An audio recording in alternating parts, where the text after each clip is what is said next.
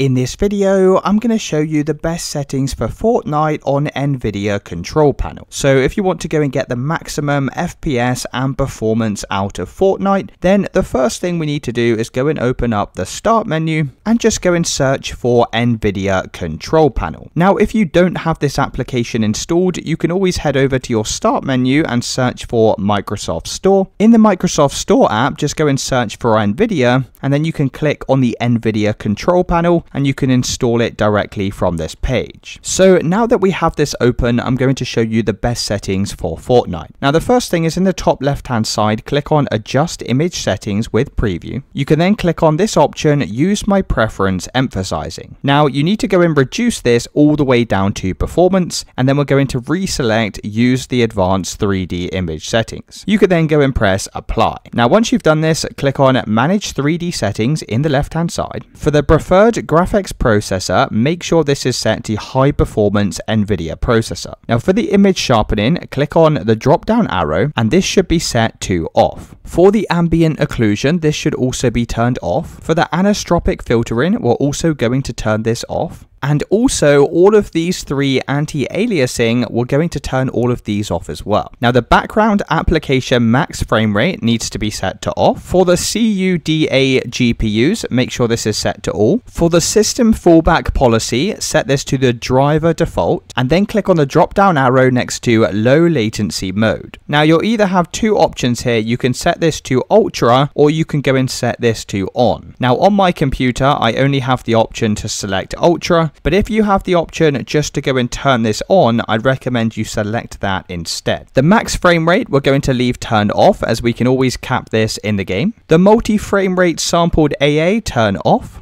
The OpenGL GDI compatibility you can set to auto and the OpenGL rendering GPU click on the drop down arrow and this is where you'll need to select your NVIDIA graphics card. For the power management mode we're going to set this to prefer maximum performance then click on the drop down arrow next to shader cache size and set this to unlimited. The texture filtering anisotropic you can leave that on. The texture filtering negative LOD set to allow texture filtering quality set to performance, and the texture filtering trilinear set to on. The threaded optimization, I like to leave mine set to auto. The triple buffering set to off. And then finally, we're also going to turn off the vertical sync. So once all of your settings look like mine on the screen here, we can go and press apply at the bottom of the page. And you should now have the best settings for Fortnite in NVIDIA control panel. Let me know in the comments if you found this video helpful.